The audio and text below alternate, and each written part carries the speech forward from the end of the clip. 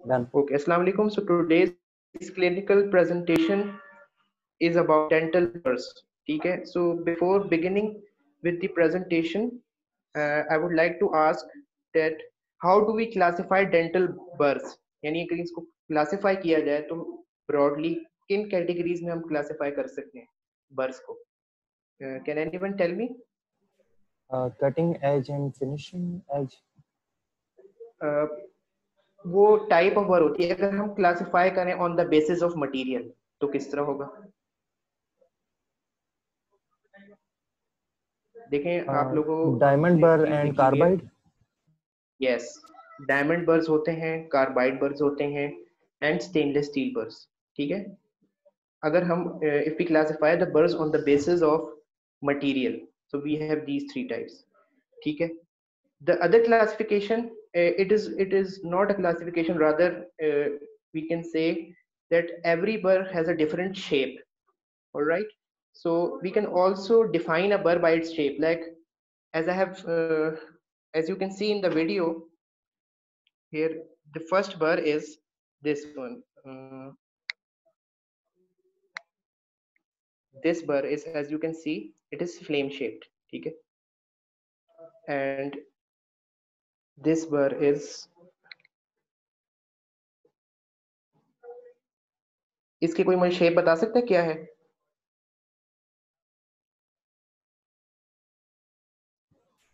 इसको हम पियर शेप भी कह सकते हैं, ठीक है? अच्छा apart from shapes every as you can read in the books, every burr has a code जिसे हम कहते हैं ISO कोड ठीक है? Whenever you buy a burr you can see in the packet कि ना उसका कोई specific code लिखा हुआ होता है like ISO 85 ISO 856 ठीक है ISO 0.4 इस तरह के कोड्स लिखे हुए होते हैं तो इस तरह भी हम बर्स को डिज़ाइन कर सकते हैं now coming to the other important aspect of the burr I would like to tell you that every burr has a different color code ठीक है when, when whenever we talk about the color code as you can see in the uh, in this video this is the burr and you can see ये किस colour का ring बना हुआ है इसमें आप लोगों को देख सकते हैं can you see in the video Yellow. what is the color of this ring yellow अच्छा क्या मुझे कोई बता सकता है कि येलो जो बर होता है yellow colour code what does it denote Uh, finishing. finishing ठीक ओके फिनिशिंग कह सकते हैं। uh, लेकिन अगर हम if we move in within sequence so the most fine bur यानी सबसे ज़्यादा कम कट करने वाला बर होता है उस कलर कोड होता है वाइट ठीक है? But it is very rare it is not available तो इसलिए हम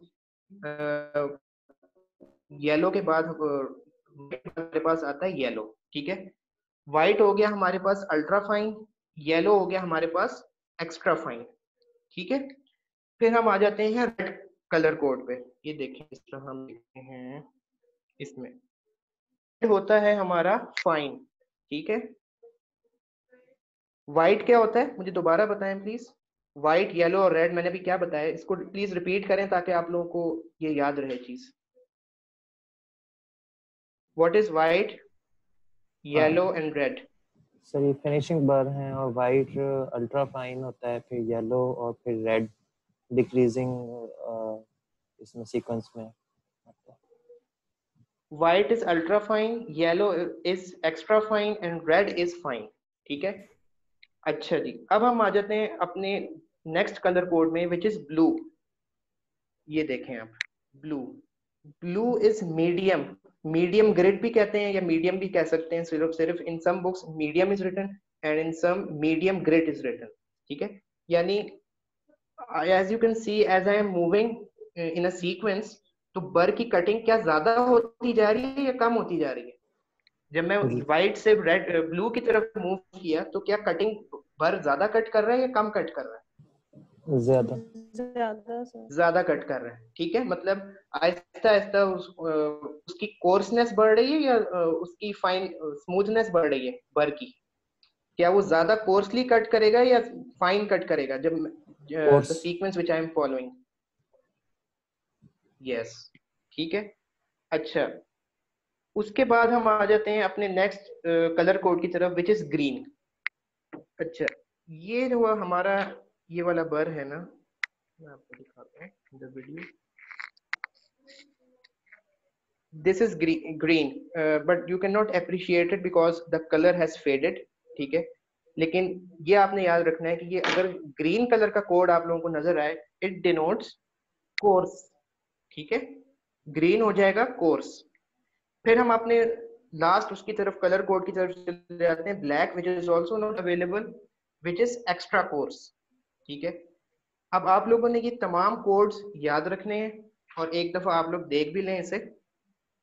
White is ultrafine yellow is extra fine then we have red which is fine blue is medium green is coarse and black is extra coarse Uh, if you have question till now you can ask so that i can move to the next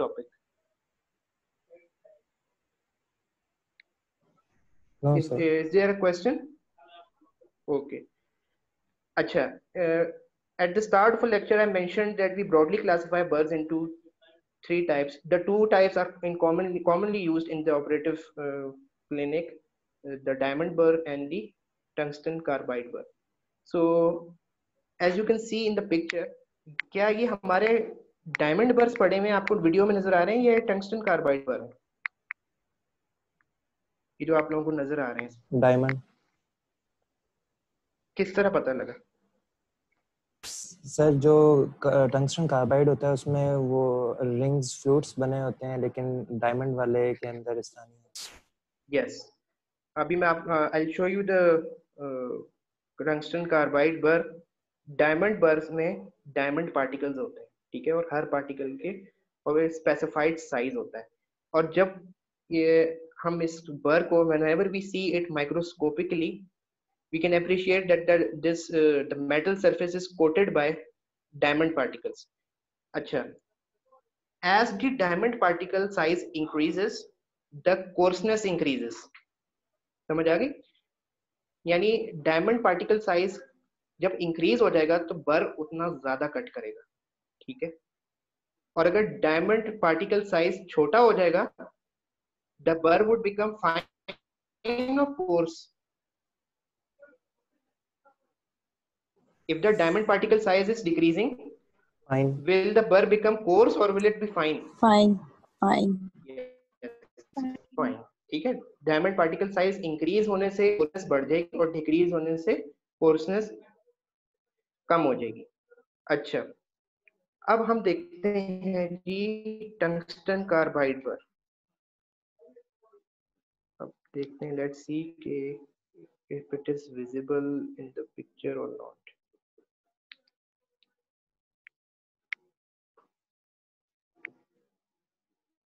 अच्छा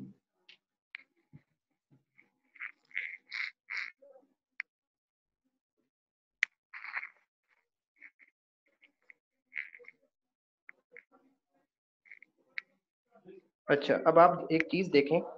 क्या आप appreciate कर सकते हैं इसको कि ये कौन सा बर है?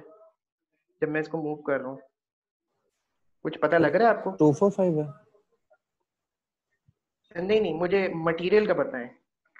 टंगस्टन कार्बाइड क्या आप देख सकते हैं इस पे कटिंग हाँ जब मैं मूव कर रहा हूँ तो इस पे फ्लूट्स मूव करती हुई नज़र आ रही होंगी आपको। देख सकते हैं आप लोग? यस सर अच्छा तो ये बेसिक डिफरेंस है डायमंड में और टंगस्टन कार्बाइड में कि टंगस्टन कार्बाइड में हमारे पास कटिंग फ्लूड्स होती हैं और डायमंड में हमारे पास डायमंड पार्टिकल्स होते हैं। ये देखें आप। ये हमारा डायमंड है और ये हमारा टंगस्टन कार्बाइड है। ठीक है? ये हम वीडियो सेशन रिकॉर्ड कर रहे हैं इस बार। ठीक है? तो हम देखते हैं कि इज़ इट इसको नेक्स्ट टाइम इंशाल्लाह हम कोशिश करेंगे कि और इम्प्रूव करें। Will you guys be willing for a recorded session यानी हम आपको वीडियो रिकॉर्ड करके दे दें या लाइव ही बताएँ आप लोगों को। What do you guys suggest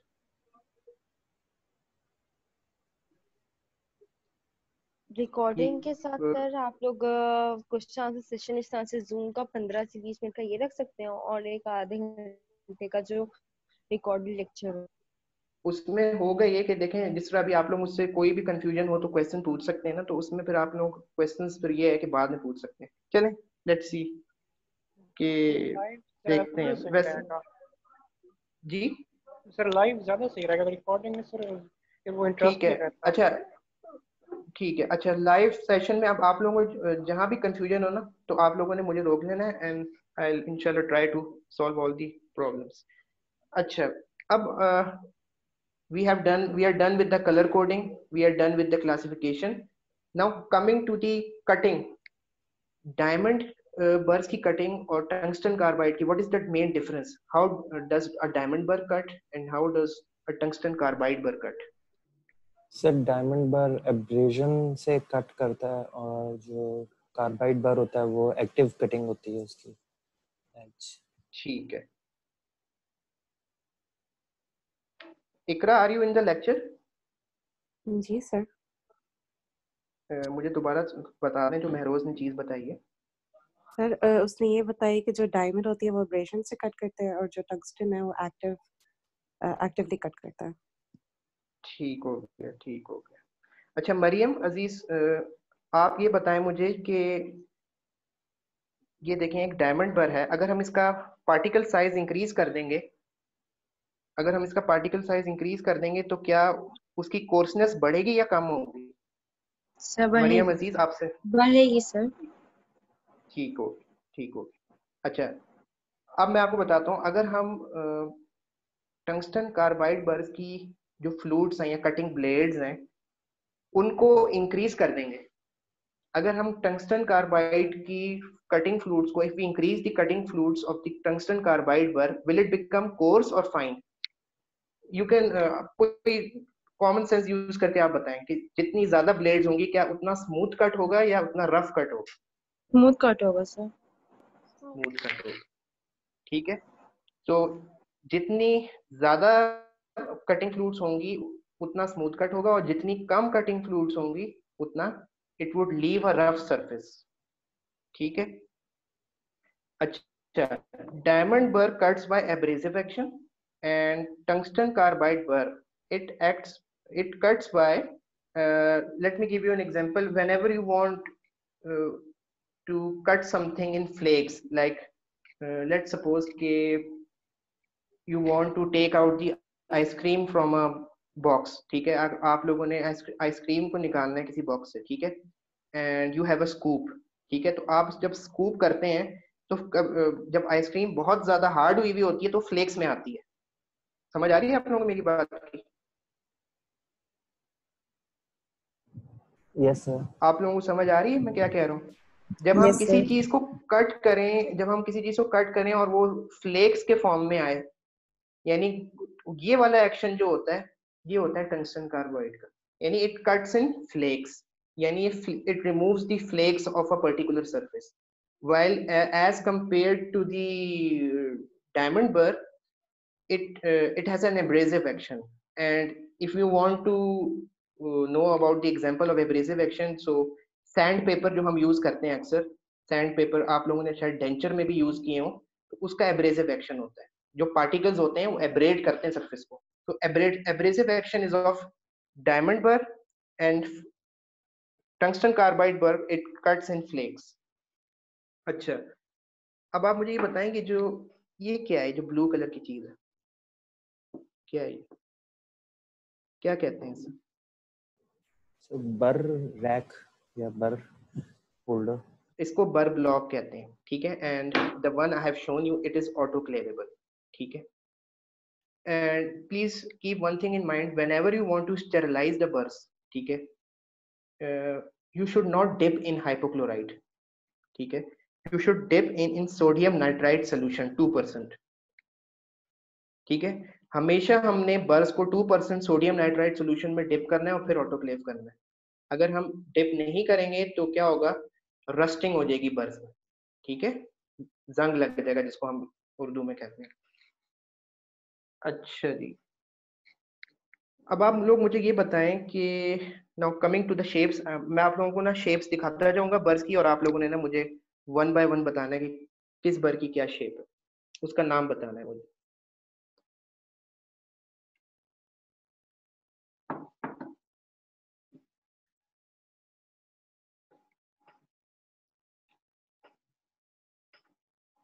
ये कौन सा बर है? Round bur round bur round bur very nice बल्कि मैं वन बाय वन किसी से भी पूछ सकता हूँ let me see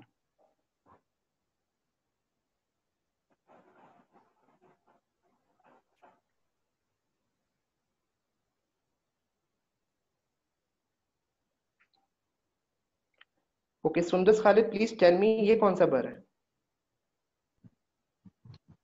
Sir tapered fissure okay tapered fissure very nice अच्छा टेपर्ड फिशर जो है it comes in two types one of the tapered fissure bur has a rounded end and one has the flat end तो आप लोगों ने you have I think studied the burs some shapes of the bur in crown and bridge जो हम flat ended tapered fissure use करते हैं, उससे हम किस तरह का what type of crown margin do we obtain with it किस तरह का crown margin स्ट्रेट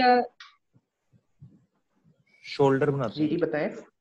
जी फ्लैट और राउंडेड राउंडेड के लिए? शैम्पर शैम्पर चैम्फर सर जो अभी आपने बर दिखाया था ये निडल शेप बर नहीं है?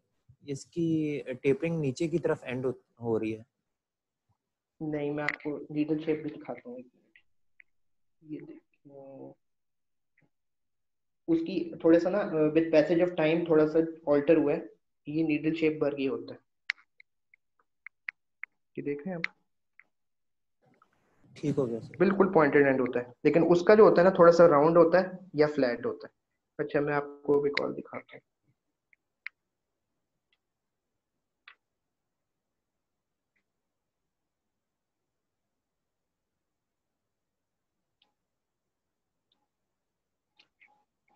Anfal Farooq please tell me ये कौन सा बर है? अगर आपको नज़र नहीं आ रहा तो एक minute let me- Anfal Farooq please tell me ये कौन सा बर है? शेप के अकॉर्डिंगली बता सकते हैं आप लोग मुझे। जी, शाबाश, बताएँ। अदरवाइज़ मुझे फिर एबसेंट मार्क करने लग, पड़ेगी अगर कोई आंसर नहीं देगा। Because this is suppose to be an interactive session ठीक है।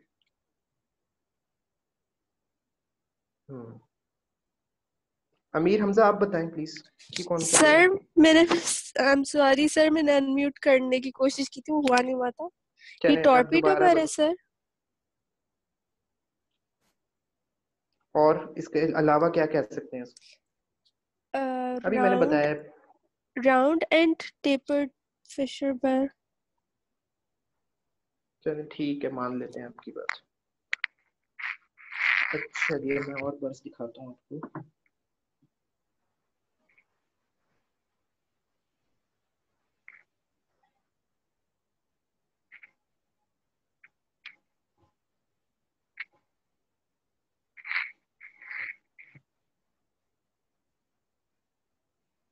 ये कौन सा बार है? अमीर हमजा, आप बताएँ। एक मिनट। सर, नज़र नहीं आ रहा फोकस उसका नहीं है। अब आ रहा can you see it yes एक सेकंड ये पियर शेप ये बिल्कुल वाइट कलर का बर है। पहली Yes, बात तो ये कि कि हिंट आपको दे देता हूँ। हाँ। यस सर और ये पॉलिशिंग में यूज़ होता है फिनिशिंग एंड पॉलिशिंग में ये यूज़ होता है। Yes, और basically we can use this bur in for the finishing of composite restoration ठीक है? Yes sir silicon carbide and silicon carbide coated भी होता है ये ठीक है? और इसके लिए इम्पोर्टेंट चीज़ ये है कि इसको हम इसका नाम क्या है? इसका नाम बताएँ मुझे प्लीज़ सही इसमें पियर शेप नहीं है इसको कहेंगे? नहीं नहीं इसका नाम बता दें। शेप तो it comes in various shapes ठीक है? वो तो कॉम्पोजिट फिनिशिंग किट के अंदर डिफरेंट बर्स होते हैं it comes in different shapes ठीक है? इसको स्टोन बर स्टोन बर स्टोन बर यस स्टोन बर के ठीक हो गया। अच्छा जी। Let me get hold of other burs मैं आप लोगों से पूछता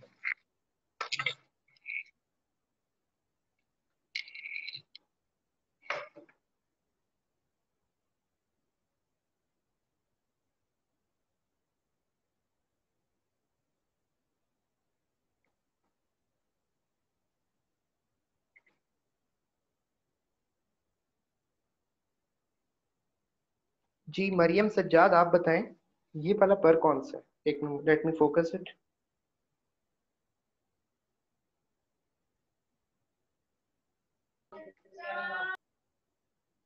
जी Mariam Sajjad I am asking you what is the name of this bur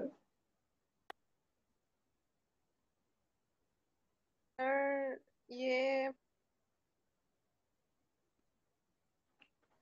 अच्छा ये बताएँ ये ये नहीं पता। डायमंड है डायमंड है या कार्बाइड है?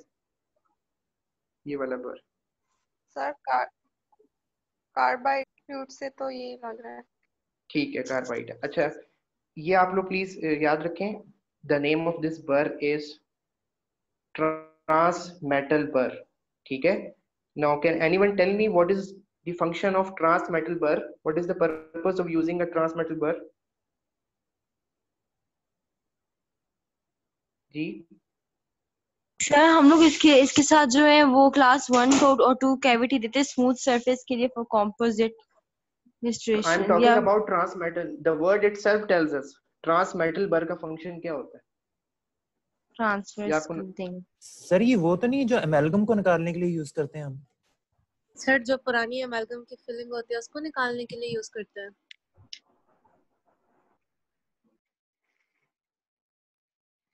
एक मिनट वेट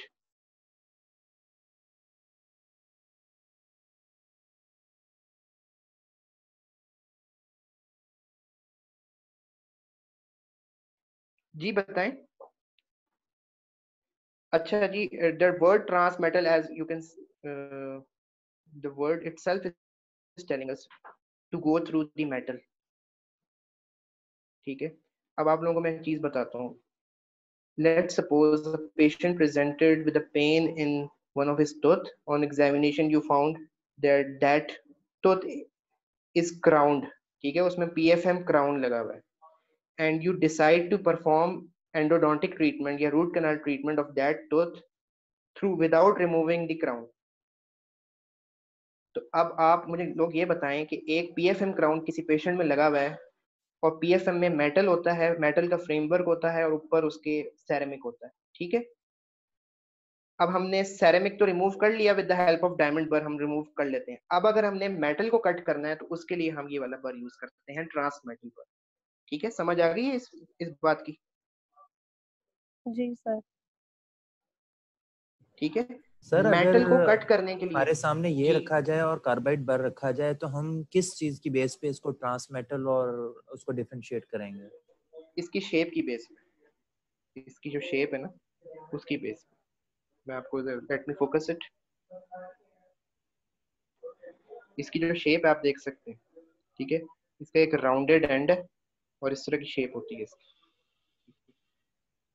अच्छा some we can also use other types of carbide burs लेकिन बेसिकली इस कार्बाइड बर का हम ट्रांस मेटल बर इसलिए कहते हैं because every bur has a design उसका ब्लेड्स को इस तरह डिज़ाइन किया गया है कि वो मेटल को कट करे ठीक है? अ, हर जो बर होता है ना उसकी जो फ्लूट्स होती हैं उसका ना एक पर्टिकुलर एंगल होता है with the long axis of the bur अब वो बहुत ज़्यादा एक एडवांस चीज़ है यू माइट बी कंफ्यूज उसको हम कहते हैं रेक एंगल ठीक है? वो डिटरमिन करता है कि कटिंग कितनी ज़्यादा होगी, ठीक है? तो प्लीज़ बेयर इन माइंड कि जो the cutting blade the angle which it forms with the long axis of the bur ठीक है? उस, उसके अकॉर्डिंगली हम डिटरमिन करते हैं कि जी इसकी कटिंग कितनी होगी। वो भी एक पैरामीटर होता है डिटरमिन करने के ठीक है? So let me show you some more burs and after that will be done with clinical presentation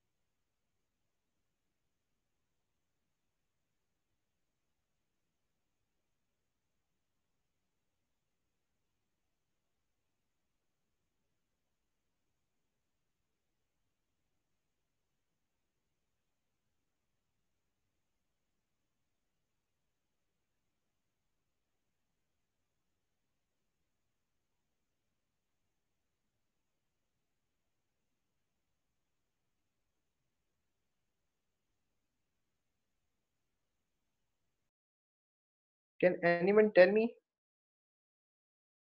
what type of?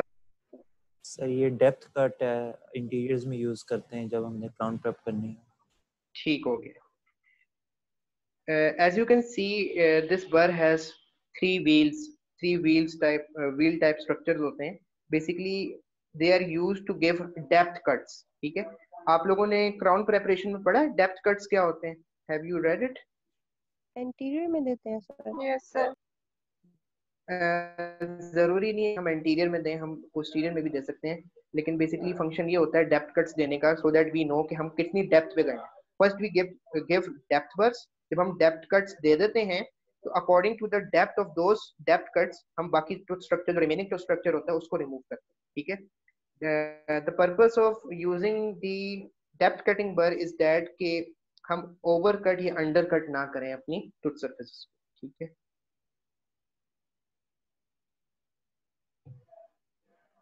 Okay Aiman Fayaz please tell me ये कौन सा बार है? एक minute let me focus it sir ये डायमंड बर है। हाँ diamond bar है लेकिन इसका नाम क्या है? अकॉर्डिंग टू द शेप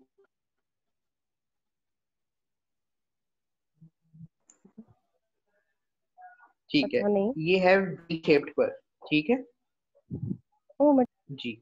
अच्छा एक इम्पोर्टेंट पॉइंट ये है कि the log books which have been provided to you उसमें इन तमाम बर्स की शेप्स दी हुई हैं with names with colour coding everything is mention so it is my request to please give it a read ठीक है? क्योंकि ये तमाम चीज़ें हमने ऑलरेडी मेंशन की हुई हैं।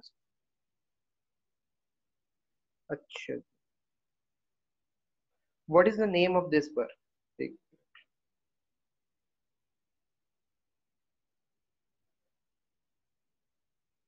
can anyone tell me sir ये football shaped diamond prism shape नहीं पीर इसको हम अ, नहीं पियर शेप भी नहीं इट- इसको हम बैरल शेप्ड बर कह सकते हैं. बैरल शेप्ड ठीक है? ठीक हो गया। इसको हम बैरल शेप्ड बर कहते हैं and its main purpose is to perform reduction of the palatal surface of the जब हमने क्राउन प्रेपरेशन करनी है, जब हमने उसकी पैलेटल सरफेस को रिड्यूस करना है तो उसके लिए हम ये वाला बर यूज़ करते हैं। ठीक है? अच्छा जी। और कोई burs if do we have other burs ठीक है okay so please give me two minutes let me show you a Tofflemire retainer and how do we play a Tofflemire I will show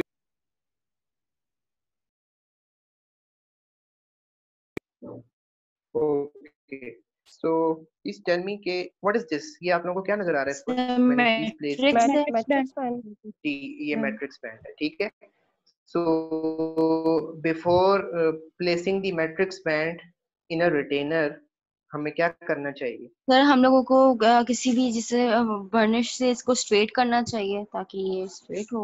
burnishing करनी चाहिए ताकि हम एक smooth controlled surface को achieve कर सकें ठीक है?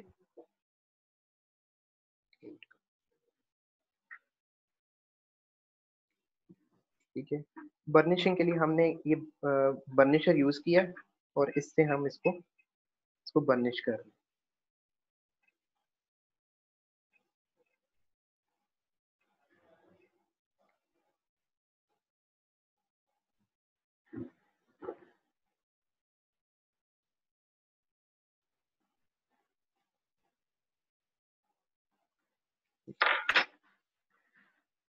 अच्छा आपने नोट किया एक चीज़? जब बर्निश किया है मैंने इसे तो ये देखें लूप सा बन गया है। ठीक है? मतलब एक कंटूर आ गया है। वो बिल्कुल स्ट्रेट ये जब हमारे पास whenever we buy the matrix band तो बिल्कुल स्ट्रेट होते हैं। जब हम उसे बर्निश करते हैं ना तो एक कंटूर डेवलप हो जाता है उसमें ठीक है? तो ये पर्पस होता है बर्निशिंग करने का to get a smooth contoured surface ठीक है? अच्छा अब how do we place it in a Toffelmeier retainer let me show show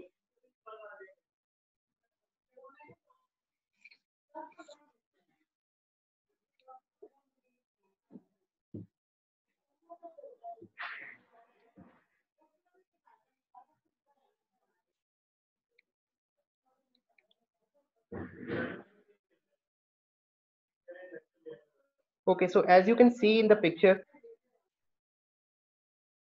ये क्या है? ये जो मैंने पकड़ी हुई चीज़।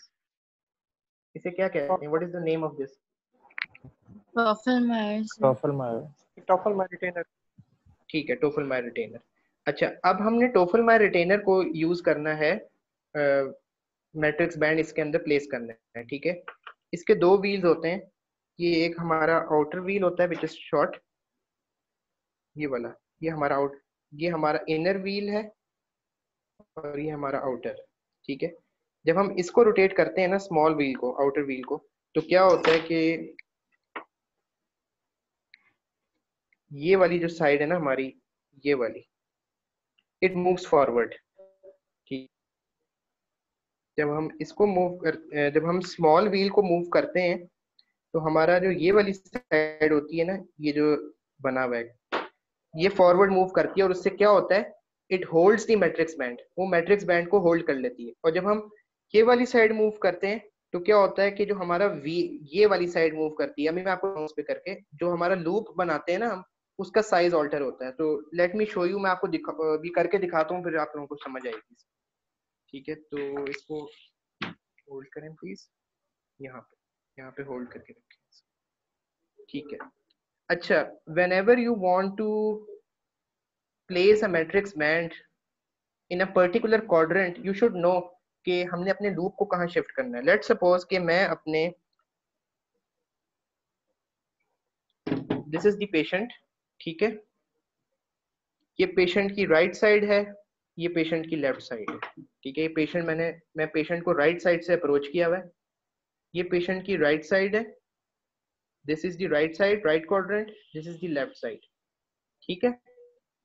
अब अगर हमने राइट right साइड पे लगाना है, अपना मैट्रिक्स बैंड मैं अभी सिर्फ़ I am talking about the lower quadrants तो फिर हम अपने लूप को लेफ़्ट साइड पे शिफ्ट करेंगे. लेट मी शो यू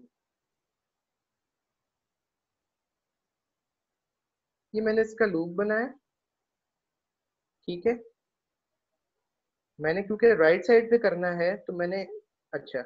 इसकी ना दो स्लॉट्स होती हैं आप देख सकते हैं। एक ओब्लिक स्लॉट है और एक वर्टिकल स्लॉट है। Can can everyone see it दो स्लॉट्स हैं। जी सर सर ठीक है एक ओब्लिक स्लॉट है और एक वर्टिकल स्लॉट है। तो हम ओब्लिक स्लॉट में पहले प्लेस करेंगे अपने मैट्रिक्स बैंड को और फिर वर्टिकल स्लॉट में। ठीक है बता इसलिए रहा हूँ क्योंकि अभी मैं जब प्लेस करूँगा so you might not be your vision might be obstructed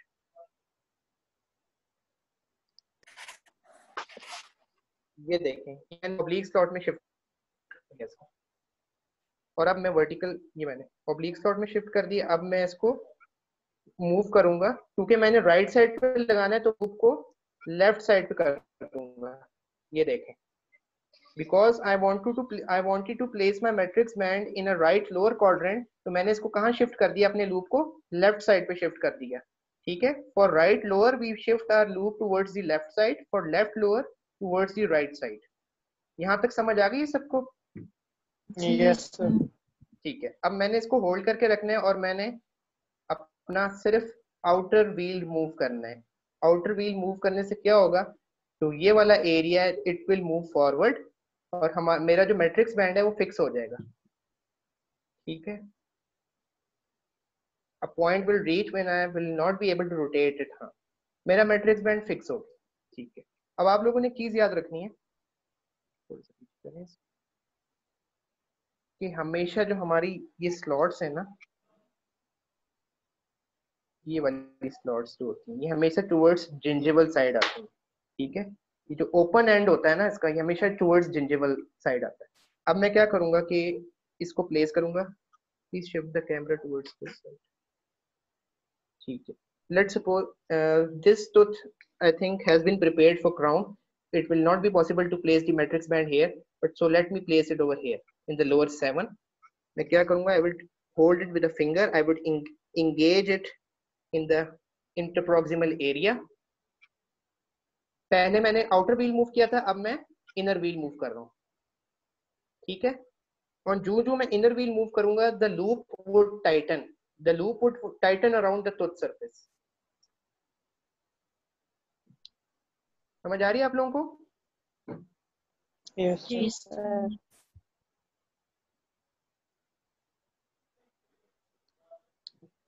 ये देखें लूप टाइट होता जा रहा है।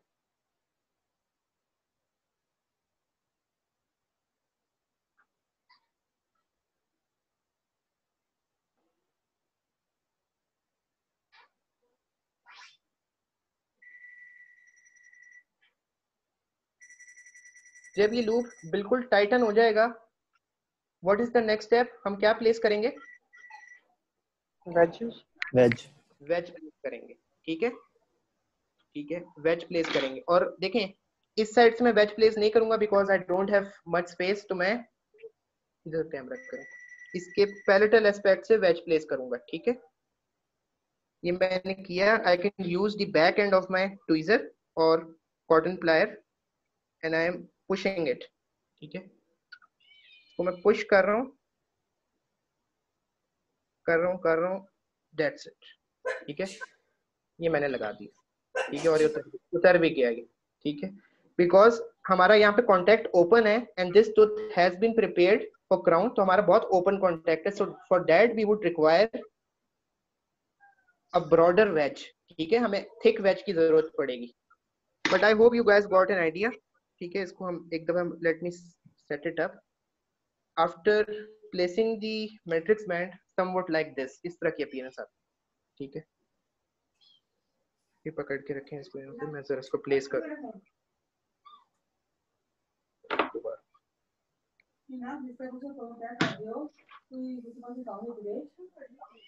please mute mute your mics ठीक है? अच्छा कोई क्वेश्चन है आप लोगों का? Till now you can ask इसकी अपीयरेंस है ठीक है। So that's it we are done with our presentation अब हमारा टाइम ओवर हो गया in in the upcoming lectures we will try to uh, give you a demonstration on the sectional matrix system. For now uh, it is not available right now. तो sectional matrix system मुझे कौन बता सकता है? वो हम किस restoration के लिए यूज़ करते हैं?